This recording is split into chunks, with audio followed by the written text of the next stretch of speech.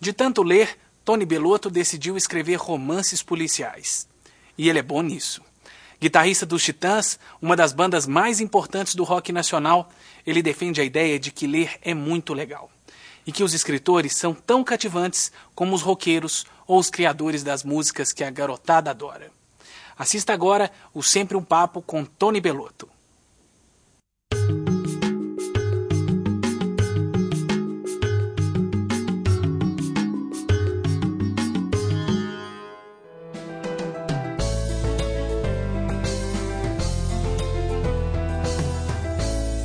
Desde muito garoto, assim, eu fui fascinado por literatura.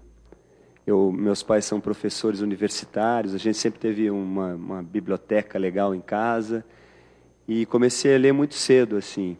E mais ou menos ao mesmo tempo que a música me, me pegou, a literatura me pegou também. Então, desde muito garoto, eu tinha esse sonho de, de ser um guitarrista de rock, ali inspirado por aqueles discos que eu estava escutando, do Jimi Hendrix, dos Rolling Stones. E também uma nasceu ali uma vontade de escrever, porque eu era fascinado por aquela, aquele universo da, da leitura, né, da, das, das aventuras, da, das coisas que, que os livros propiciavam para mim. Então, livros como A Ilha do Tesouro, do Stevenson, Moby Dick, do, do Melville, todas as histórias do Monteiro Lobato, eu lembro que aquilo me, me bateu muito forte, assim. Então, desde cedo eu tive essa ligação assim com a literatura como uma possibilidade de de uma abertura para novos mundos, uma abertura para a imaginação e fascinado mesmo. Eu faço bastante letra, uma música como Polícia, por exemplo, é música e letra minha. É, então é, é, engraçado que assim eu tenho essa ligação com a palavra, mas eu, eu acho que eu tenho um, é, com a palavra uma ligação muito mais forte, é, mais fluente na, na, na, prosa do que propriamente até na, nas letras, por exemplo. Nunca tentei fazer poesia, por exemplo, que eu acho uma coisa dificílima. Mas, enfim, aí quando comecei a carreira na música, aí com, por volta de 18, 19 anos, a música me absorveu completamente. E esse projeto de escrever ficou um pouco posto de lado. Mas eu já tinha, na época, consciência de que eu achava que para escrever eu precisava viver um pouco mais, sabe? Eu, eu acredito até hoje que para escrever você tem que ter uma certa experiência, uma vivência, conhecer um pouquinho mais da vida e do mundo antes de, de, de se arriscar a escrever. Foi essa sensação que eu tive e assim fui. A carreira com os Titãs foi correndo legal, tal. E aí a partir aí do quando estava chegando nos 30 anos de idade por aí, comecei a sentir uma, uma, uma pressão assim, uma cobrança minha comigo mesmo, falar, pô, e aí você não queria ser escritor também? Quer dizer, aí tem que escrever, né?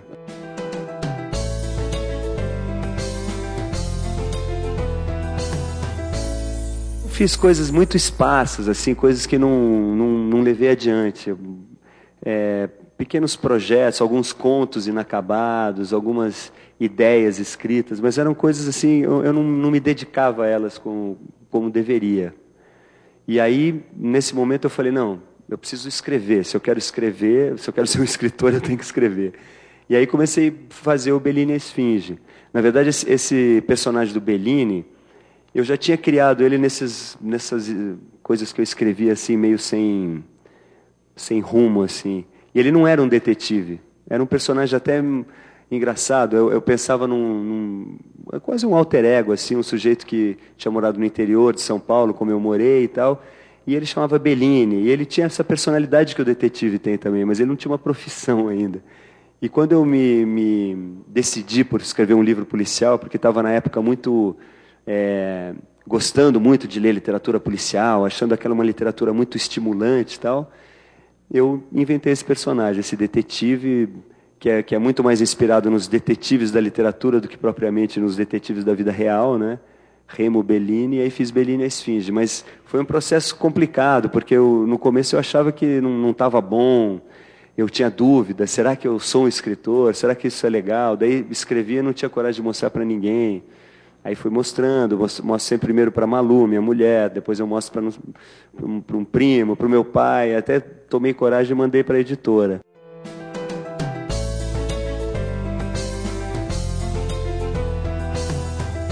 É uma coisa que eu não, eu não sei te explicar exatamente por quê. Eu lembro que na época nessa época que eu comecei a escrever, eu estava muito, muito é, apaixonado mesmo pela literatura policial. Estava lendo, obcecado, lendo tudo de literatura policial, é, estimulado por aquela literatura. Que eu acho que a literatura policial tem essa característica de te dar um, um rumo, né? Assim, a, ela parece que ela tem um, um, sentido, ela tem um objetivo, a literatura policial. É, é, o desvendamento de um enigma, tem alguma coisa que tem que ser revelada. E então aquilo me pareceu no momento uma forma mais, a mim me pareceu mais fácil de escrever um livro. Parecia que tinha um porquê, assim, você você vai escrever sobre um crime que vai ser desvendado. Me dava como se fosse um sentido, uma, uma ideia mais fácil para me aproximar daquela aventura que me parecia bastante trabalhosa, que era de escrever. E eu acho que a coisa rolou de, de uma certa forma, assim, é, deu certo. Quando, quando acabou o livro, quando eu mandei para a editora, todo mundo falou, pô, o livro é legal. Então eu até estranhei, que eu achei que o livro ia ser. ninguém ia querer publicar. Olha, a primeira editora que eu mandei tinha uma, uma, uma prima da Malu que trabalhava na. É uma editora que não tem mais, é a. que era do. do Caio Prado, qual que era? Brasiliense, a Brasiliense.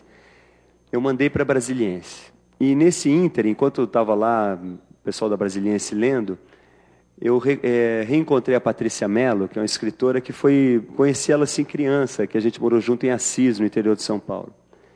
E aí a Patrícia tinha acabado de, de publicar o Matador, acho que. Não, Aquatofana, o primeiro romance dela. E ela. E aí eu falei, pô, Patrícia, estou escrevendo também. Falou, me mostra o que você está fazendo. E mandei um manuscrito para ela, do, do Bellini Esfinge. Ela falou, pô, isso aqui é muito legal. Pô, vamos mandar lá para a Companhia das Letras, que já era editora que, que ela estava né, publicando. E aí foi para a companhia. E aí, nesse ínterim, eh, eu e a Malu fomos é, viajar, a gente ia passar uns meses em Nova York, ela estava grávida do João, meu primeiro filho aí com a Malu, que está ali, aliás. E aí, de repente, vem a resposta das duas editoras interessadas em, em, publicar. Eu falei, pô, para alguém que não se considerava nenhum escritor, de repente, duas editoras interessadas e eu ter que optar por uma delas. Então, eu me senti assim nas nuvens, ali em Nova York, me senti um um Paulo Coelho, assim, né, disputado pelas editoras. E aí conversei e tal, e dentro do que a, a, a, Companhia das Letras me ofereceu, eu achei que era mais interessante e optei e estou né, publicando até hoje pela companhia. E eu sou um escritor adepto de, de escutar o que o editor diz, sabe? Porque você escreve, você fica muito preso dentro da tua cabeça, aquele universo, você fica meio preso naquela situação. E às vezes uma visão de fora é muito importante, até para te ajudar a enxergar certas coisas. E o, os editores têm essa capacidade, sabe? Eu, eu aconselho sempre o escritor, às vezes, descer um pouco da, né, da, daquela arrogância e escutar o editor. Que às vezes você fala, não, não quero, não quero que ninguém dê, dê palpite e tal. Mas vale a pena escutar o editor, que eles, eles são, têm uma função muito importante.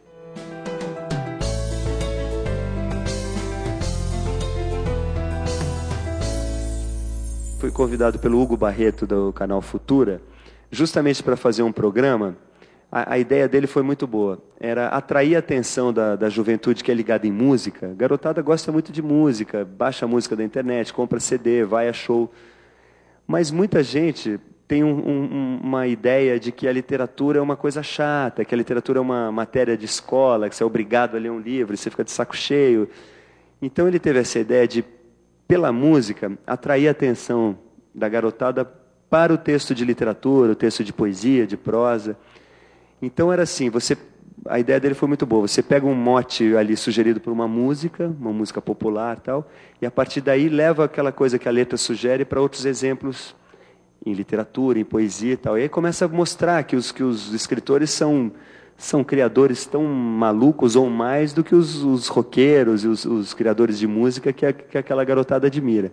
Então a gente começou assim meio. Ele falou: pô, você é o cara que faz as duas coisas, vamos fazer essa, essa ponte. E aí eu falei: ah, vamos nessa, vamos ver o que, que dá. Mas eles têm uma equipe muito boa, porque eu também não entendo nada, não entendo nada, não diria, mas eu não entendo tanto de, de língua portuguesa e de literatura para sair ali falando como se eu fosse um professor. Mas eles têm realmente um, uma equipe muito legal ali, que me dá bastante sustentação, vamos dizer assim. Então a gente se reúne e começa a levantar os temas. Ah, vamos, vai, vai ter um, vamos fazer uma nova temporada, 13 programas. Vamos falar do que dessa vez? Ah, vamos falar disso, vamos. E aí a gente vai levantando as coisas, eu dou as minhas ideias e depois a equipe faz o trabalho ali do braçal mesmo de, de, de pegar conteúdo, de pegar os exemplos em que aquilo pode ser usado como exemplo em língua portuguesa e tal. Mas ainda não sou um professor Pasquale, né? por favor.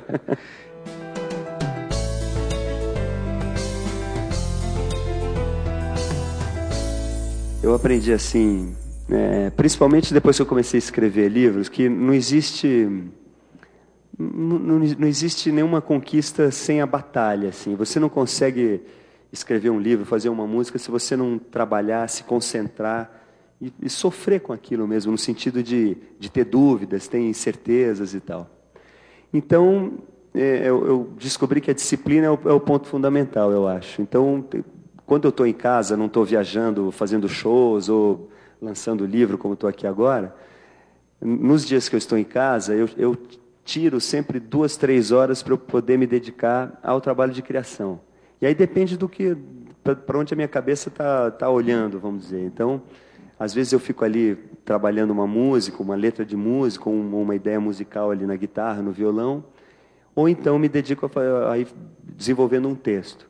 Então é aquele trabalho de todo dia, e aí, quando acaba a semana, eu vou viajar para fazer show, eu, eu imprimo aquilo que eu escrevi, e levo aquelas, aquelas folhas impressas e vou fazendo revisão, porque eu acho que o trabalho de, de releitura e revisão é fundamental na construção do texto.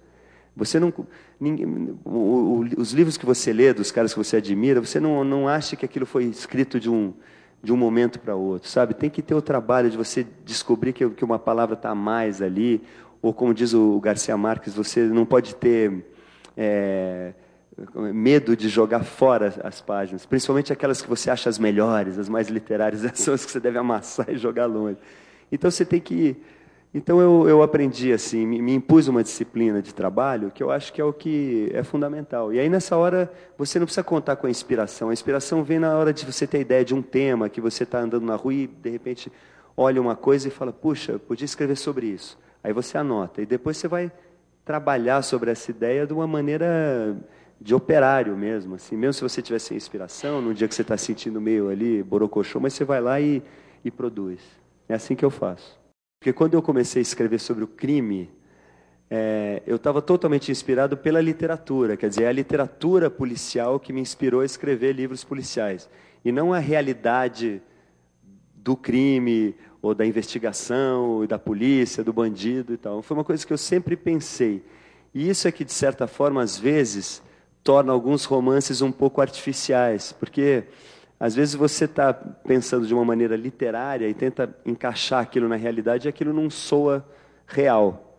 Então, é, eu aprendi muito e, e, eu sempre falo, a, Patrícia Mello é uma pessoa que me, que me ensinou isso, assim, pela atitude dela, que a pesquisa é muito importante. Então, nessa hora que você vai fazer, é, você tem que, mesmo que a tua ideia seja a mais absurda possível, eu trabalho assim, eu, eu acho que a, a ferramenta principal do escritor é a imaginação.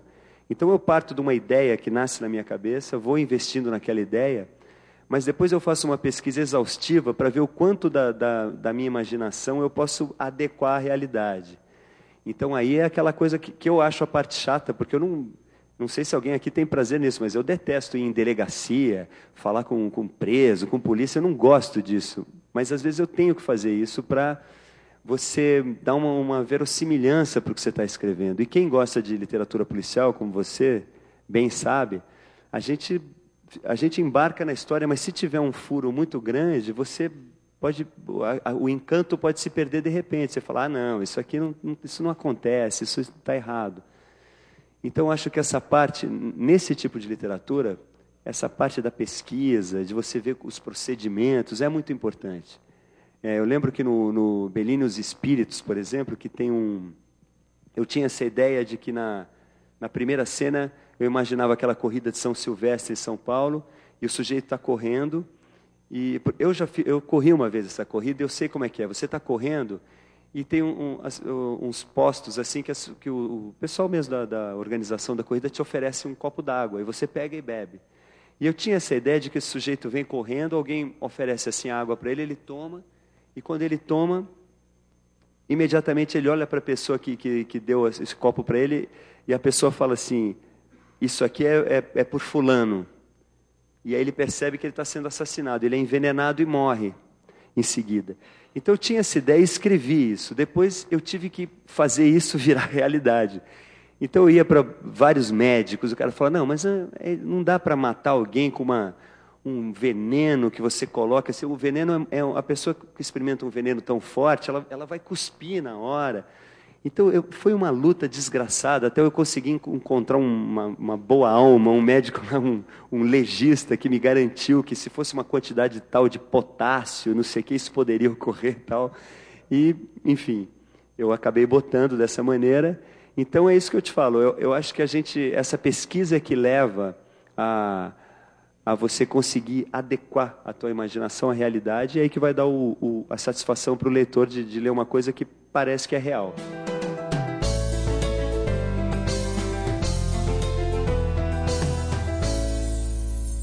Desde que eu comecei a escrever literatura policial, me incomodava um pouco essa um pouco é isso que eu estava falando, essa distância entre a literatura policial e a realidade. E a gente tem no Brasil uma realidade muito pesada nesse sentido, muito violenta, de crime, de criminalidade. Então, a princípio, seria para a gente ter uma, uma grande literatura policial brasileira, porque a gente tem tudo acontecendo aqui. Então, nos Insones, eu quis fazer uma coisa assim, menos um romance policial tradicional, com aquela figura do detetive, e mais um mergulho nessa realidade escabrosa que a gente vive atualmente no Brasil, principalmente no Rio de Janeiro, que é a cidade onde eu vivo há 15 anos, e, em que nos últimos tempos eu venho assistindo coisas terríveis assim acontecendo, né? Dessa coisa do, do crime, da, da barbárie, do, do tráfico de drogas, do, do, do pouco caso com tudo isso. Então essa foi a, vamos dizer, a ideia inicial, fazer um romance policial brasileiro brasileiro de verdade, sabe? Que estivesse falando o que acontece agora no Brasil, sem seguir fórmulas de, de, de detetives que foram inventados nos Estados Unidos há 50 anos. E a partir daí, nessa observação da realidade, eu fiquei lendo notícias de jornal, tudo isso estava me inspirando, mas ao mesmo tempo eu estava pensando, pô, mas esse é um assunto abordado muito, tá, já está enchendo o saco esse assunto. Já teve o filme Cidade de Deus, agora tem esse Tropa de Elite, a, a novela Duas Caras fala disso também. Eu falei, está todo mundo falando disso, será que eu preciso falar? Será, será, que eu tenho algo a acrescentar? Então eu tive uma ideia que eu acho que, que foi o que, deu, que me deu força para fazer o livro mesmo, que foi, nesse num momento de inspiração, nasceu a ideia desse personagem que é o Samora, que é um menino negro que nasceu em comunidade pobre, mas logo que ele nasce, os pais se separam e a mãe dele casa com um inglês. Então ele tem uma vida de um menino de classe média alta, vive no Leblon, é, estuda em escola britânica e tudo isso.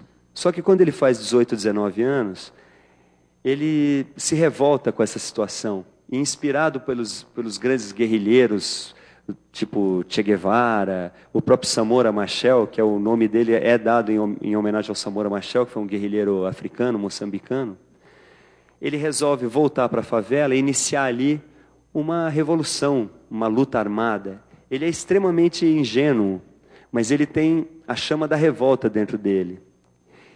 Então, esse personagem me deu assim, pô, agora eu tenho alguém original, alguém que eu não acho na notícia do jornal, que eu não acho no Tropa de Elite, nem na novela, que só vai existir no meu livro. E a partir daí eu acho que o livro ganhou a, enfim, o corpo, assim, para, pelo menos dentro da minha cabeça, para eu poder escrevê-lo mesmo. É interessante que é o seguinte, contrapondo essa ideologia do Samora, que é esse jovem idealista, eu coloquei a figura do Renato Pellegrini, que é um outro personagem, que é um sujeito de seus quarenta e tantos anos, a minha idade por acaso, e ele tem uma outra visão do mundo, uma visão mais desiludida. E da, da, dessas duas visões, eu acho que sai alguma coisa que pudesse ser uma resposta a essa pergunta dentro do livro. É, eu acho que, na minha idade, eu acredito muito mais numa transformação pessoal do que numa transformação, vamos dizer, coletiva, que é o, o sonho clássico dos grandes guerrilheiros, do, dos Che Guevaras e tal. E, mas essa ideia de que o mundo só vai se transformar quando cada uma das pessoas se transformar, me parece a ideia mais plausível de uma transformação real assim.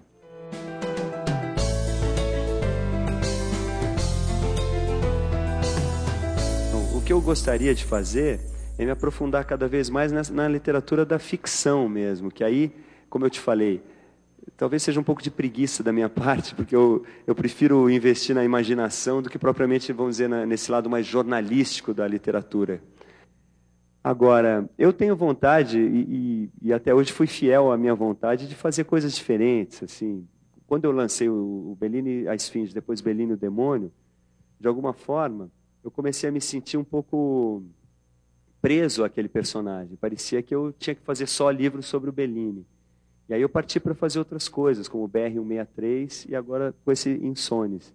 Eu, eu, mesmo nos Insones, no começo, eu estava pensando em fazer um livro que não tivesse nada de um romance policial, nada de um romance de suspense.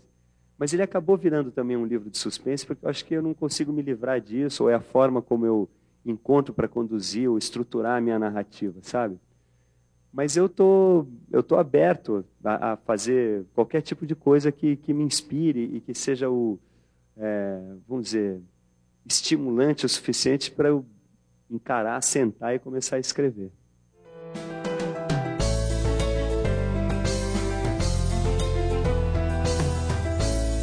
É engraçado que, que é, elas, elas são complementares mesmo, no sentido de que a música é muito prazerosa e é uma, e é uma experiência para mim sempre coletiva. Eu, eu, estive aqui em Belo Horizonte há alguns dias atrás, um sábado, tocando, você até estava lá, show Titãs e Paralamas, uma plateia cheia. Aquilo foi uma catarse, assim, um, uma emoção genial. Parecia que a gente estava. Parecia não, a gente estava realmente celebrando alguma coisa ali. Então, tocando com velhos amigos, é uma experiência assim de prazer, de, de, de barulho, de, de, intensidade de gente. E a literatura é o inverso completo, assim. É, é, a, é a solidão total, o silêncio. Eu não consigo escrever ouvindo música, me desconcentra. Então eu preciso do silêncio total. Não tem ninguém do meu lado. Quando você lança um livro, quando você, você faz um show, você está vendo na hora aquela resposta, né, arrebatadora do público, um, um, uma porrada que você recebe na cara. Um livro, você escreve um livro e daí você publica o livro e você fica. Você não sabe o que, as pessoas estão achando. Eventualmente o cara fala, pô, legal o seu livro, gostei e tal. Então é muito diferente. Mas por serem tão diferentes, é que eu consigo, diferentes essas duas carreiras, é que eu consigo conciliar as duas. Eu acho que eu não viveria sem a música, porque a música, como eu te digo, é uma, é uma coisa de muito prazer, de muito deleite, de, de alegria mas não conseguiria viver sem a literatura também, que é um lado mais introspectivo, uma hora que eu fico ali sozinho com, a, com, a, com as minhas sombras, vamos dizer assim, encarando o meu silêncio, a minha individualidade. E se eu tivesse que escolher uma das duas, eu não saberia, eu detestaria ter que fazer essa escolha de Sofia. Assim, prefiro é, continuar fazendo as duas coisas.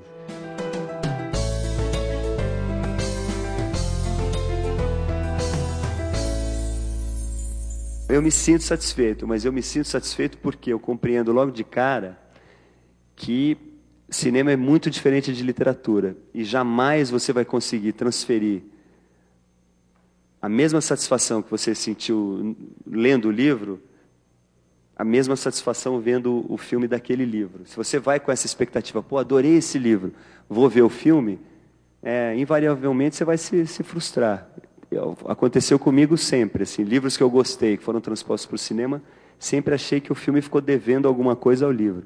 E nesse sentido eu posso dizer que o Bellini Esfinge, o, o filme, deve alguma coisa ao livro, o Bellini Esfinge. O livro não está inteiro lá. No filme você pega sempre um, algum aspecto do livro. O, o, o, filme é sempre uma adaptação do livro. E nesse sentido eu acho que o filme foi muito bem sucedido. Acho que o Fábio Assunção fez um Bellini muito convincente para muita gente, o Bellini é o Fábio Assunção. Agora, eu sempre falo isso, a grande magia do, da literatura é que os personagens não têm um rosto definido, cada um imagina de uma maneira. E cada um complementa e compreende o livro de uma maneira diferente. O cinema não, o cinema ele já te dá ali quase que tudo pronto, com a ajuda da música.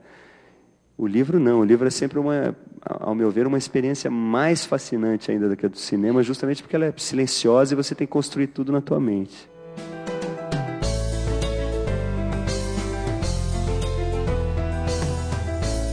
A primeira coisa é, é desacralizar um pouco, tirar essa ideia de que o livro, o livro é aquela coisa chata, aquela coisa difícil.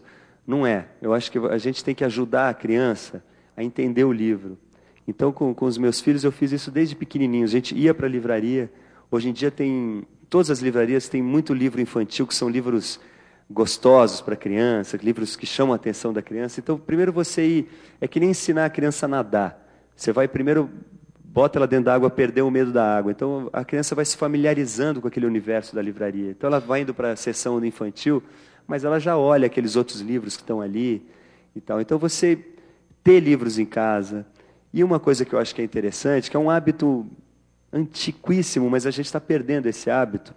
Nem sempre eu tenho tempo para fazer isso, mas gostaria de fazer mais e sempre que posso faço, é, é ler para as crianças. Porque às vezes a criança abre o livro e, e ela não, não entende nem como ela consegue dar aquela entonação do que está escrito na cabeça. Então você vai ajudar a criança, você lê e fala, oh, e aí o fulano falou tal. Aí ela, você está contando a história, ela começa a perceber que aquilo que você está falando está vindo do livro. Eu acho que o trabalho tem que ser esse. É e aí tem uma hora que a criança já conhece aquilo, e aí tem aquele momento mágico que ela abre o livro e descobre o, a, a, magia da literatura, vamos dizer assim. Mas ela não vai descobrir isso sozinha, de repente, de um dia do, do nada. A gente tem que cultivando isso, é, lendo para as crianças, levando em livraria. Todas essas coisas eu acho muito estimulantes, assim, no sentido de que qualquer coisa que você faça no sentido de, de estimular a leitura, a descoberta do prazer da leitura, vale a pena.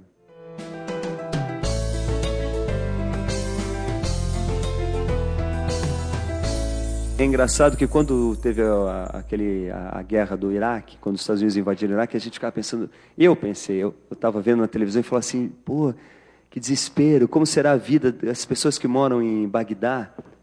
Imagina um sujeito como eu, um pai de família, que os filhos dele têm que ir para a escola amanhã de manhã, como é que ele vai fazer? Os Estados Unidos estão invadindo, então parecia que eles estavam vivendo um apocalipse terrível e eu estava numa boa. Daí, de repente, eu falei, não, não estou numa boa, eu estou vivendo uma guerra também. Eu, a gente escuta, às vezes, do, do meu apartamento ali em Ipanema, um, aqueles fogos, você acha que são fogos, você não sabe se são fogos do, dos traficantes avisando que chegou a droga ou se é um tiroteio. Então, Bagdá não estava tão longe do Rio de Janeiro naquele momento. E aí uma das coisas que me assustou muito foi isso aí que você falou. Como é que é essa capacidade que a gente tem de se adaptar a tudo, que é uma coisa muito positiva do, do, do ser humano, mas ao mesmo tempo é uma coisa terrível, porque você vai se adaptando e você vai achando normal aquilo, você vai aceitando aquilo como tem que ser assim. Então, dessa reflexão é que nasceu também a vontade de fazer esse livro.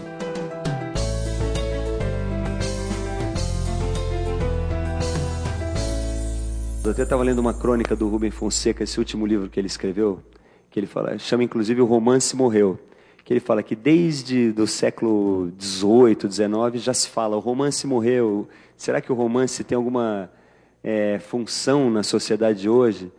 Aquele, parece cada vez um, um objeto mais antiquado e anacrônico, aquele, aquele livrinho de papel, quando a gente tem tecnologias tão mais sedutoras. E é engraçado que eu, como músico, eu fui criado na, pelo vinil, né, aqueles discos de vinil. Depois eu vi o, o vinil morrer, e aí o CD, o CD era o CD, o CD. Agora a gente está assistindo o CD morrer e a música está migrando para outras mídias, como você falou, internet e tal. E o livro ele permanece, o livro ele continua, nada consegue vencer e derrubar o livro. Mas ao mesmo tempo, a gente sabe que não só no Brasil, mas também no Brasil, lê-se muito pouco. É, nesse sentido dessas duas carreiras que eu tenho também, é uma diferença brutal que se vê, o que os titãs vendem de disco e o que eu consigo vender de livro. Então a gente fala, pô, e, e não é assim porque que eu, que eu venda pouco, eu vejo pelo que se vende normalmente, é pouco mesmo. Mas ao mesmo tempo, eu acho que a função do livro, ela, é, talvez não seja assim de, de uma, o poder do livro para é, sei lá, arrebatar grandes massas e mudar um pensamento de muita gente, mas o, o, trabalho do livro é um trabalho sutil, assim, porque uma pessoa que lê um livro e que se transforma por aquele livro, como no meu caso quando eu li O Apanhador no Campo de Centeio do Selinger, aquele livro teve um impacto tão grande que ele me transformou, como alguns discos me transformaram também. E aí eu acho que essa que é a grande força do livro. Então eu não sei se ele tem uma capacidade de mudar uma geração ou mudar uma grande multidão, mas algumas pessoas que cada livro consegue transformar, eu acho que já é uma, um, uma tremenda força, uma tremenda revolução que ele, que ele proporciona. Então, acho que o livro tem, ele consegue sim, mas não da, não da maneira que, que a gente vê um filme fazer sucesso, ou um disco fazer sucesso. O, o, trabalho do livro é mais sutil, mais silencioso. Às vezes parece que, que, que não existe mais e ele está trabalhando como se fosse no, no, abaixo da superfície, assim.